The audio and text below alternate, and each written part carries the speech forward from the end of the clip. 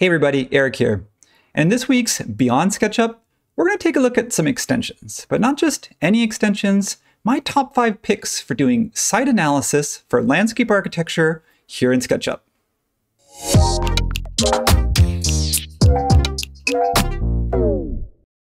So just real quick, before I get into it, I just want to say that while I love modeling my designs in SketchUp, I also love having some information that's going to help me with or inform my designs before I get too far. So that's the purpose of site analysis. It's basically to say, what about this property or what about where this property is located is going to help influence the design decisions that I make. And for landscape architecture, that's really important. The two things that I think that I like to or try to bring into the site analysis process is the sun and the slope, because we know that the sun and shade will impact everything from whether we need shade structures to our plant palette choices. And the slope, of course, is going to determine whether we need to grade things or we need to stay away from certain areas, and of course, where things like drainage goes. So to me, those are two really important things. And let's just jump right into some extensions that are going to help that process run a little more quickly and smoothly. I've got my site here. My site is just kind of an abstract site. It's not a real property, just for this demo. Um, I want to start with sun and then I want to move to slope. So for sun, I have two extensions I want to show you now. If I turn my shadows on and kind of play with the time of day, you can see that just by default with SketchUp's shadow settings, we can change the time of day and the season. Now that's really helpful because that can tell you, again, okay, this is where the sun's going to be at this time. But then I have to move it to another time, and then I have to see what that looks like at that time. And, you know, there's a little bit more information I would like to get beyond that. So the first one I want to look at is called, it's Curic Sun. So I can just come over here to Tools, Curic Sun, and in this case I want to say Show Sun. So what it's going to do is it's going to show me the sun. If I zoom out here, and I can just click off of this, it's going to actually show me the sun path.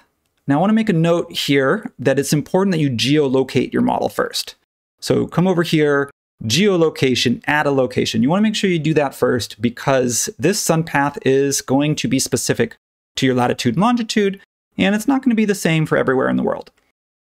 So once you've done that, you can see here, if you look at the shadows down here, if I click anywhere within the sun path, not only does the sun position change, because it's changing both time of day. So time of day starts over here. If you think about it, the sun rises in the east, sets in the west.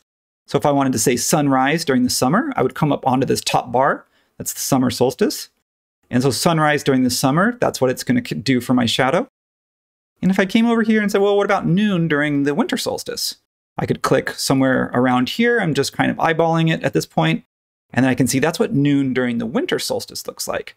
So again, What's really powerful about this is not only a quick way to set the shadows and move them around to see what different times of day and times of year look like visually, but if I wanted to, I could come over here, switch to plan view. And for this, I can just do a screenshot and then either go to layout or go to Illustrator or something like that. And I could sort of trace this and create basically a sun and shade diagram. So there's more to say about that, but I want to move on because that's sort of talking about the sun aspect of things. So Curic Sun is really kind of cool for visualizing that sun and being able to quickly sort of move it and place it. But what about the shadows? So this one is I want to capture this shadow, for example, at a few different times of day, and I want to see where those shadows overlap because what that'll do is it'll tell me that wherever the shadows overlap, I will not get sun in that spot. So in my shadow settings, I'm going to start, I'm at 12 noon, and I'm at the, not the solstice, but I'm actually at the equinox, so that's great. And I'm going to come up here to my next extension. This one's called TIG Shadow Projector. So if I come over here and say New Shadow Projection, I can choose some options. Do I want lines, faces, faces and edges? Let's do that and click OK. And there it is. So that's basically my shadow. It's actual geometry now. So if I move this, I can move the shadow now independently. So if I turn the shadows off, you can see it's still there. Now that's cool because I'm going to switch this over to 9 a.m. So now this is what the shadow's doing in the morning. I can just grab my plane. Sorry, I forgot to, to say that you need a plane to cast the shadow on. So that's why I selected this ground plane first. So that's why we're going to do this twice. Come over here now down to TIG Shadow Projector again. New shadow projection. Same settings. And there it is. Now, I'm going to really quickly pull the materials out from this because I want to show you something one step sort of further. So not only do I have these shadows, if I turn my shadows off, you can see I have geometry for two different times of day. What I would like to do is paint one one color, and I'm making it 50% opacity, and I want to paint the other, say noon, a different color. So what that means is where they come together is where no sun will be. So if I even just say pull that off to the side, I'm going to pull this off to the side and I'm going to explode these. And again, if I wanted just to paint this a different color, just so it's a little bit more obvious, this area here, if I switch to plan view, this is my 9 a.m., this is my noon, and this area in between that I have actual geometry for, if I wanted to, I could pull the square footage of this. This is um, all, nearly 1,500 square foot of my backyard will be in the shade all day long during the equinox. So that's useful information. So when I do my design, I just have to take that into consideration. So I'm going to go ahead and stop, or I'm going to pause my sun analysis there. And I want to move over to the second half of my extension review, which is the slope analysis. So let me pop over to my slope scene. I have a slope here already. I have my property line. So if I zoom in, you can see my dashed property line. And I want to figure out where to place this building, or maybe not this building, but maybe a different building. I just want to sort of understand this slope a little bit and find out what, um, what can the slope tell me about the site. Right now, if you look at it, it I can tell, of course, if I tilt this way, I can see that, yes, this is high and this is low. If I go into plan view, it's a little bit harder to tell. I can see some shadows because I can change my shadow settings. Of course, depending on the time of day, that sh those shadows um, may not be there. So I don't really want to rely on my shadow settings to read the slope because it's, it's going to be different during different times of day. So instead, I want to, first thing I want to do is I'm going to make a copy of that. No, I'll make a copy of it in a second. That's all right. I'll just do the first one. So my next extension, and it's actually one extension, but I'm going to do two parts of it. And it's called Fredo Tools. So a lot of you know Fredo or Fredo 6 makes some really, really powerful extensions. And this one's called Fredo Tools. It's just a collection of just general use ones that are helpful. And there's two in here that I want to focus on. And one is color by altitude and one is color by slope. So starting with color by altitude, it's going to tell me I could change the colors here if I wanted to. Like if I wanted to pick, you know, a brighter purple color or a blue or something like that. Basically, I can change the colors to anything I want, or I can just pick one from a predetermined list. What I want to do is I want to know what is high and what is low. So from here, there's some other options, but I tend, with Fredo's tools, I tend to stick with just sort of the defaults because they're pretty complex and I don't like to think too hard about it. So I'm just going to click apply. And then what that does now is if I go to my plan view again, so I'm going to pop over to plan view. Now I know that my this is high, so purple, if I have a legend, purple being highest and yellow being lowest, or white in this case representing flat, then all of a sudden I can do a, if I send this to layout or if my shadow settings, like here, if I had, you know, if I had no shadows at all, it wouldn't matter. I don't need those for the slope anymore because now I have the slope itself is colored. It's telling me this is pretty high, so maybe you want to stay in this sort of lower valley area when I'm sort of working in plan view or when I'm communicating in plan view to maybe a consultant or um, somebody I'm collaborating with. I'm going to make a copy of that. I'm going to, again, I'm going to use my other extension, which I'm not, which is not part of this um, tutorial. And I'm going to remove the color from this second one, because what we're going to do is I want to use that same slope, and I want to do this again. So from here, I'm going to come, I'm going to select this. I'm going to go Tools, Fredo Tools. In this game, I'm, this time I'm going to say color by slope, not color by altitude.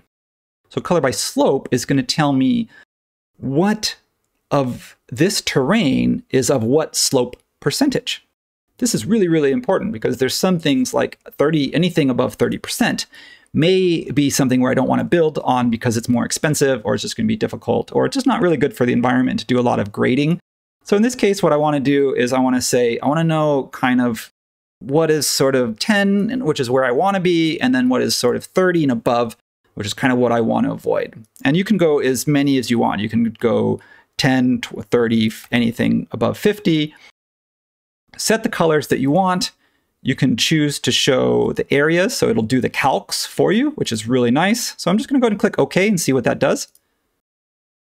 And that's my slope analysis. So this one tells me the height, and this one tells me the percentage. So basically anything red or orange, I want to avoid. I want to avoid, well, I don't want to avoid, I want to avoid maybe putting my, my structure or something like that on. What's really handy here is it already calcs all this for you. So you can just take that information, go plug it into a spreadsheet, or export it and put it in your document or whatever it is that you're, you're doing the analysis. So if I switch back to plan view, you can see I have slope by height and slope by, um, by percentage. Really, really cool stuff.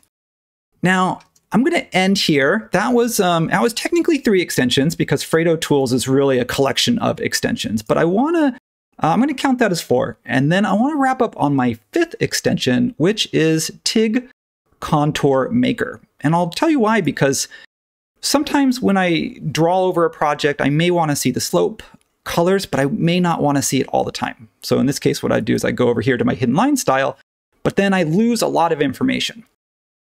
So what I want to do is come back and add some information about the slope, but using line work instead of color.